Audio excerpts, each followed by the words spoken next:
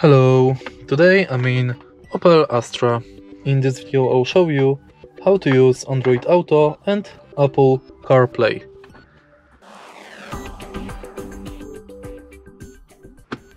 In the beginning, make sure that the cable is connected to USB port in your car and then plug it to your smartphone. Now I've plugged it. Take a look on the center of the car and select projection. Now select enable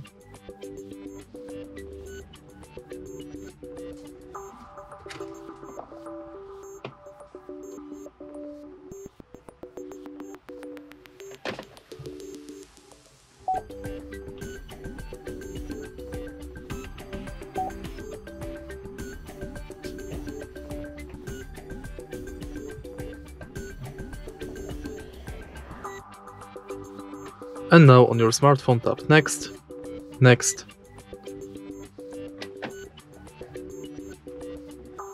Continue. And now Android Auto is enabled. Of course, uh, I've got only smartphone with the Android Auto, but if you want to do the same thing with Apple CarPlay, simply follow the process after you connect your smartphone with the car via USB.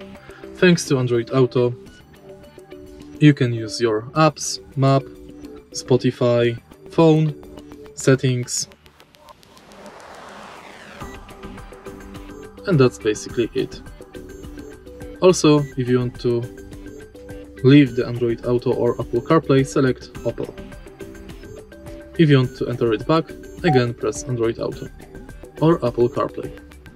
And that's basically it. If you find this video helpful, please leave like, comment and subscribe.